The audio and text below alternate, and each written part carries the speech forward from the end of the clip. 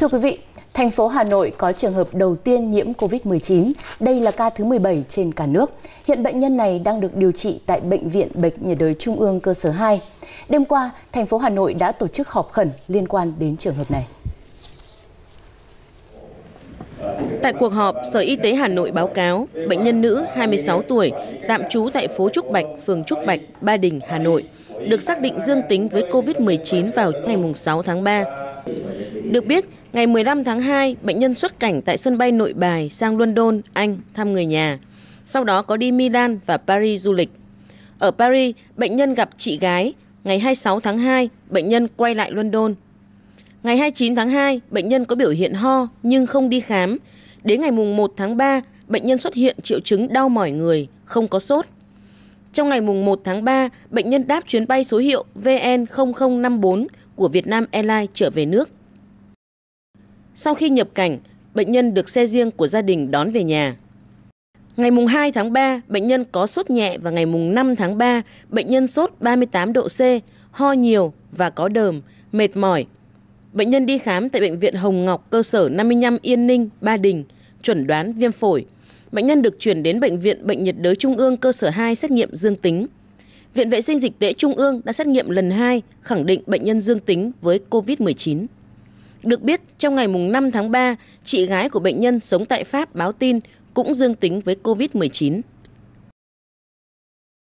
Cái này nó có cái phức tạp là bản thân bệnh nhân ấy, thì ờ, tự biết là có khả năng gây bệnh cho nên là không chủ động là không tiếp xúc với nhiều người phải có cái vẽ cái sơ đồ dịch tễ rất là chi tiết trường hợp nào thì phải cách ly ở bệnh viện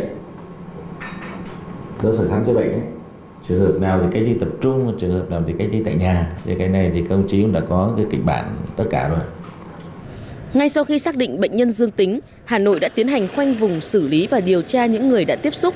5 người tiếp xúc gần đã được cách ly tập trung và lấy mẫu xét nghiệm tại Bệnh viện Bệnh nhiệt đới Trung ương cơ sở 2. Trong đó, lái xe và người giúp việc có biểu hiện sốt cao, mệt mỏi. 17 nhân viên y tế tại Bệnh viện Hồng Ngọc tiếp xúc gần với bệnh nhân cũng đã được cách ly. Sở Y tế Hà Nội đã tiến hành khử khuẩn khu vực bệnh nhân sinh sống và thành lập hai chốt, cách ly toàn bộ người dân đang sinh sống tại phố Trúc Bạch từ số 125 đến 139 và sẽ hỗ trợ những người đang sinh sống tại đây. Những nơi bệnh nhân đến đã được yêu cầu cách ly và giám sát y tế.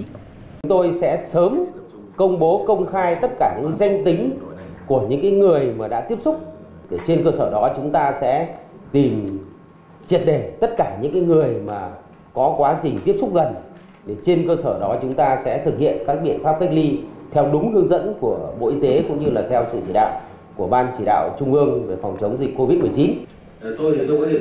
Tại cuộc họp, Bí thư Thành ủy Hà Nội Vương Đình Huệ đã đề nghị Vietnam Airlines ngừng khai thác sử dụng máy bay và nhanh chóng xác định thông tin hành khách trên chuyến bay, tổ bay cùng phi hành đoàn. Sáng nay, Ban chỉ đạo phòng chống dịch sẽ họp và quyết định việc học sinh trên địa bàn thành phố Hà Nội tiếp tục nghỉ hay đi học lại. Vâng, cụ thể là 9 giờ 30 phút sáng nay, Ban chỉ đạo phòng chống dịch bệnh COVID-19 sẽ tiếp tục họp để đưa ra các giải pháp cách ly, tìm kiếm những người tiếp xúc với bệnh nhân và sẽ xem xét việc học sinh phổ thông trung học sẽ tiếp tục nghỉ hay đi học trở lại vào tuần tới. Vâng, có thể nói là vào thời điểm này thì rất nhiều những thông tin chưa được kiểm chứng đang lan truyền trên mạng xã hội, trong đó bao gồm việc vẽ ra hành trình đi lại của bệnh nhân hay là bịa đặt số ca nhiễm bệnh vô tình hoặc cố ý đã gây ra sự hoảng sợ cho một bộ phận người dân của Hà Nội. Các cơ quan chức năng đang làm hết sức mình để ngăn chặn sự lây lan của dịch bệnh, và người dân cũng cần hết sức cảnh giác và bình tĩnh theo dõi thông tin từ chính quyền thành phố Hà Nội thông qua các bản tin của Đài truyền hình Việt Nam và các cơ quan báo chí chính thống khác.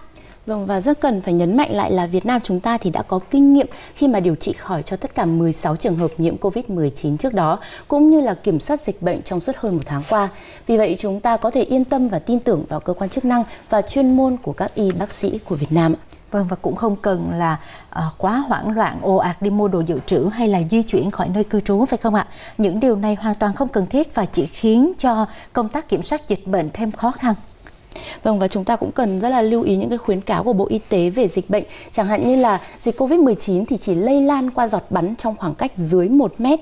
Vì thế những người có biểu hiện ho sốt thì cần sử dụng khẩu trang y tế. Còn tất cả chúng ta, điều quan trọng nhất vẫn là phải thường xuyên rửa tay với xà phòng này, dung dịch sát khuẩn hoặc là hạn chế đi lại vâng. những nơi đông người, thường xuyên vệ sinh các bề mặt đồ vật này, sử dụng khẩu trang đúng cách để phòng ngừa dịch bệnh. Vâng. Và chúng ta cần phải suy nghĩ hành động một cách logic, uh, không nên manh động, không hoang mang và không chia sẻ các thông tin không được kiểm chứng bởi vì chính điều này sẽ làm rối loạn tình hình, ảnh hưởng nghiêm trọng đến công tác phòng chống dịch, ảnh hưởng đến toàn xã hội.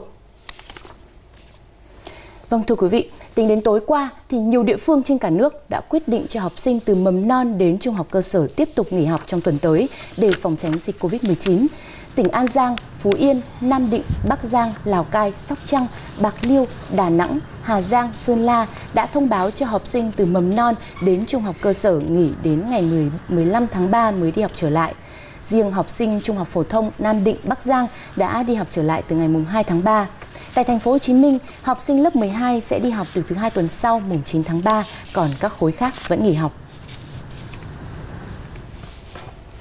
Theo số liệu cập nhật của Bộ Y tế, tính đến 11 giờ tối qua, 91 quốc gia và vùng lãnh thổ trên toàn cầu đã ghi nhận trường hợp mắc COVID-19. Con số người mắc trên toàn thế giới đã vượt mốc 100.000 người.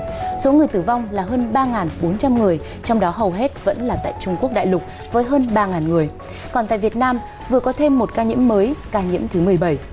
Trước đó, Việt Nam đã điều trị khỏi cho cả 16 trường hợp nhiễm COVID-19.